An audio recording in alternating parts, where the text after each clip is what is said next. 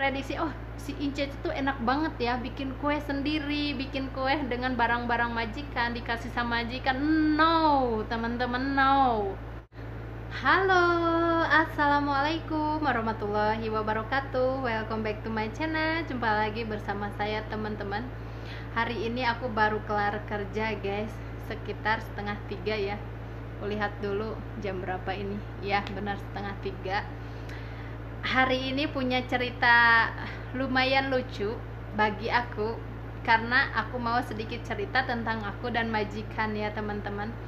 Jadi aku sama majikan itu kan udah sepakat kita itu kan uh, sama-sama youtuber tapi majikan itu uh, jadi youtubernya itu kan pemula. Dia hanya mengikutin aku aja katanya dia pengen seperti aku. Aku udah bilang sama majikan buat apa sih kamu pengen jadi youtuber? Kan kamu itu nyonya. Aku bilang seperti itu. Tapi dia bilang katanya nggak apa-apa katanya aku pengen aja katanya daripada aku bete katanya mudah-mudahan aja katanya aku bisa mendapatkan penghasilan seperti kamu. Nah setelah itu aku bilang seperti ini ya udah kalau kamu mau menjadi youtuber kamu ikut aja. Kalau aku bikin video kamu juga bikin video. Tapi kalau kamu bikin video boleh enggak aku ikut? Gitu.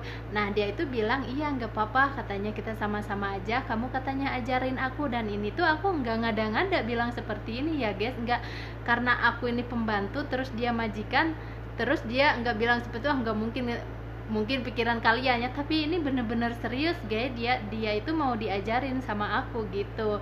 Nah dan kita itu udah sepakat. Setiap kali saya bikin video pasti saya juga ngajak majikan untuk bikin video mau enggak kalau dia enggak mau ya udah aku aja sendiri. Begitupun dia. Setiap dia mau bikin juga pasti dia itu manggil aku atau dia itu ngajak atau dia itu nge WhatsApp ke aku kan katanya ke sini katanya gitu. Nah nanti aku itu kan datang. Mau apa? Uh, mau ikut enggak katanya. Ya udah kalau aku mau ikut kira-kira bagus ya aku ikut. Kalau enggak enggak itu juga mungkin ada kalau aku lagi ada kerjaan aku enggak enggak bilang ikut juga sama dia. Jadi dia sendiri aja yang bikin seperti itu. Nah dan hari ini itu tadi tuh kan aku habis kerja setengah tiga kan setengah tiga itu aku beres kerja terus aku kan masuk kamar karena kan udah waktu aku istirahat karena setiap jam segitu aku udah waktunya istirahat dan nanti setengah empat bukan setengah empat setengah lima aku baru bikin kopi buat mereka gitu kan Nah dan tadi tuh aku nggak sengaja mau ambil minum gitu kan. Lang, uh, Aku tuh langsung aja ke dapur. Pas aku lihat dia itu lagi bikin kue guys. Hmm bukannya aku itu cuman aku kesal aja gitu kan. Karena ada sedikit yang menyangkut hati aku merasa nggak enak. Pas dia lagi bikin kue itu tadi itu aku datanglah ke dapur dia itu langsung berhenti guys. Yang aku anehnya itu kayak seakan-akan nggak boleh kamu ikut. Maksudnya nggak mau ngajak aku makanya dia nggak bilang juga sama aku gitu kan. Langsung dia itu katanya sambil diginiin ya si barang-barangnya itu. Ya udah katanya nanti aja mau bikinnya. Padahal aku nggak ngomong apa-apa guys. Beneran aku nggak ngomong apa-apa.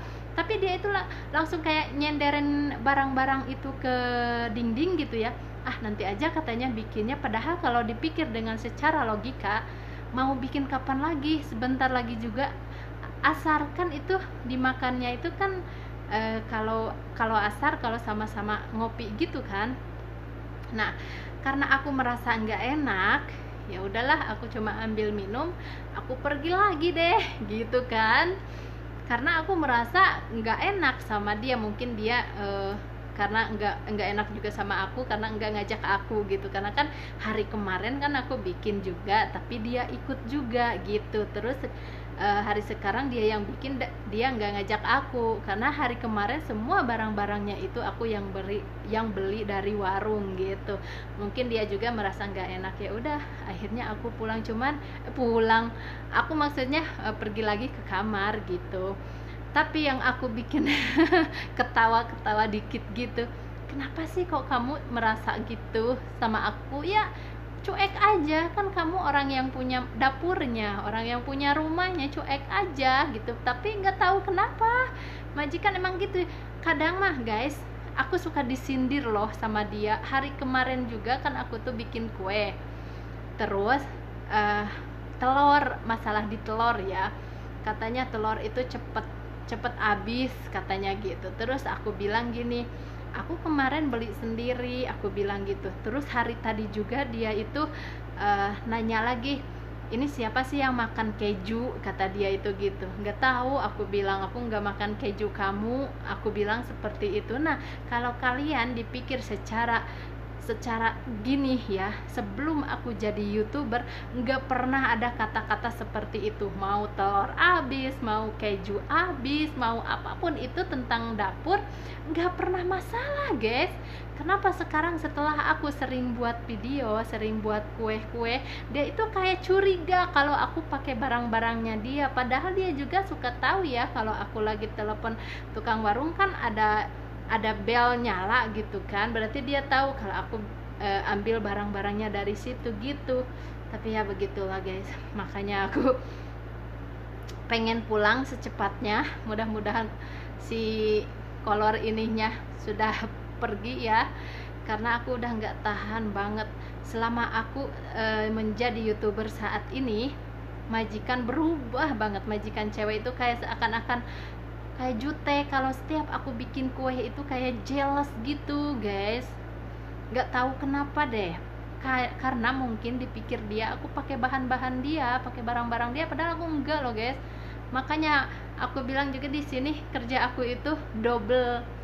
Uh, mana uh, bikin video pakai duit aku. Mana gaji juga kadang telat. Bahkan sekarang juga udah nunggak empat bulan. Uh, pokoknya bikin bete deh teman-teman. Begitulah guys.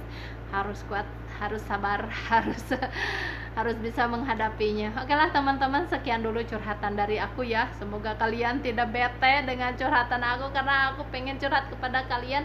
Ingin supaya orang-orang itu tidak memprediksi oh si Ince itu enak banget ya bikin kue sendiri bikin kue dengan barang-barang majikan dikasih sama majikan. No teman-teman no itu semua nggak bener. Itu semua aku yang beli. Jadi kalau teman-teman merasa si Inces enak banget ya bikin ini bikin itu punya majikan itu enggak sama sekali guys. Itu semua punya aku gitu. Makanya kalau sama majikan sekarang kayak gini aku merasa nggak enak ya udahlah aku ngalah aja. Karena aku bukan siapa-siapa di sini gitu. Oke teman-teman sekian dulu dari saya Semoga videonya menginspirasi buat kalian. Jangan mudah menyerah. Pokoknya harus tetap semangat, oke? Okay? Assalamualaikum warahmatullahi wabarakatuh. Bye bye. Capek aku mau istirahat dulu, guys. Bye.